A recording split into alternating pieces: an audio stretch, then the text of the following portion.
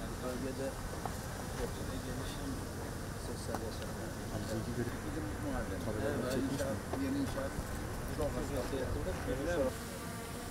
İsabetli oldu her yer. Evet. Ee, gelişim merkezini hangi konseptle yapacağız?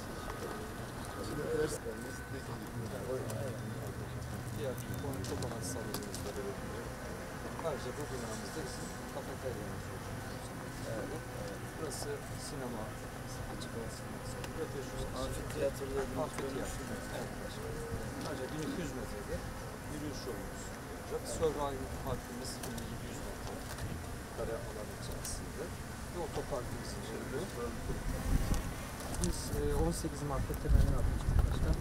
12 ayda bitirme süresi var ama daha erken bitireceğimizi öngörüyoruz.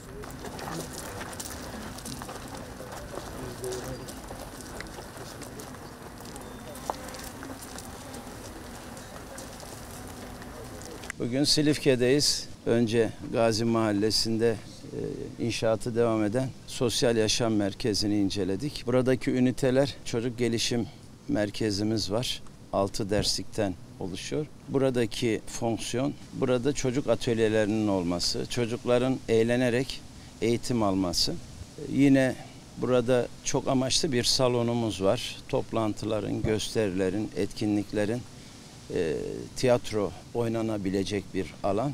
Bir amfiteyatro yine açık bir e, havada e, etkinlikleri izleyebilecekleri vatandaşlarımızın bir bölüm inşa ediyoruz.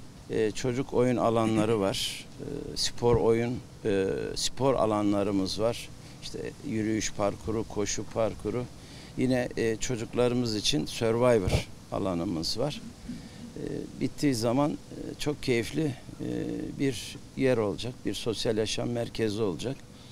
E, Silifke içinde e, yeni konsept bir yaşam merkezi olacak.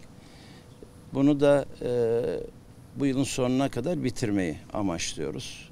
İnşaatı da bir hayli süratli gidiyor.